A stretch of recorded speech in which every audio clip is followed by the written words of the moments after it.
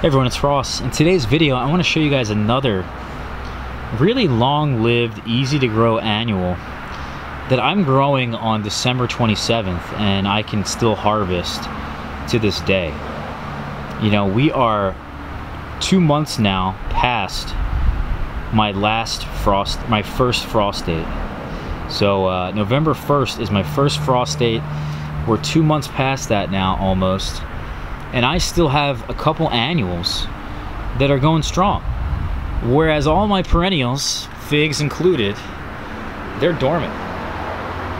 And I know they're a lot less work, but to get an annual like this that just keeps going, I think is beautiful. It's a beautiful thing. I want to show you guys my carrots.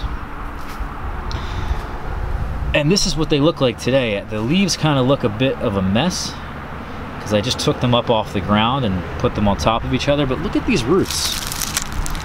These are really thick, big carrots. If I can pull one out of the ground for you guys, I'll show you. The soil here is not as loose as I would like it for these carrots, but they are exceptionally long-lived. Nothing bothers them. They're very tender and easy to grow. Check out that carrot.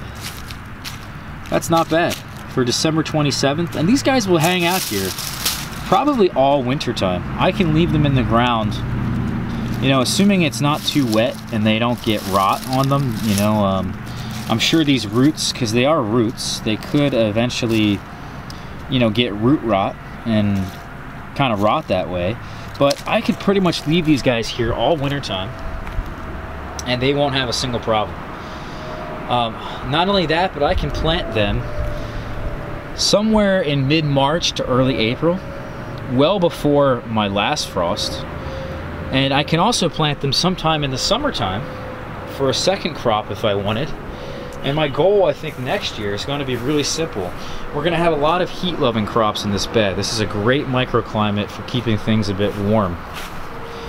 And what we'll do, instead of having the melons and the tomatoes and all that cucumbers and the eggplants and all that stuff that loves the heat, instead of taking all that out of here and having nothing in this bed, because we want to have something in the soil at all times, right guys? We want to have the mycorrhizae still, you know, attaching to roots that are supporting that mycorrhizae so that when I plant into this bed, it's ready to go, it's extremely healthy, uh, the mycorrhizae is going crazy, right?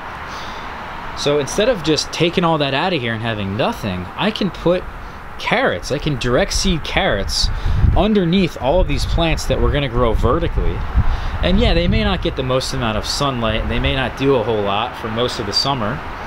But when things start to cool down and around mid-October, we'll take them out of here. And then all the carrots will shine through and I'll get a pretty decent crop of carrots um, at that time. And they don't need to be the biggest carrot, right? They don't need to be this size. You know, in fact, most carrots, when you pick them, they're supposed to be a certain size, and that's when they're the most tender. Uh, depending on the variety, that's when they are the best. You know, some carrots are meant to be this big, some carrots are meant to be more slender. You know, it's all up to the grower when you want to harvest these things. And then that way, I can have a whole crap load of carrots.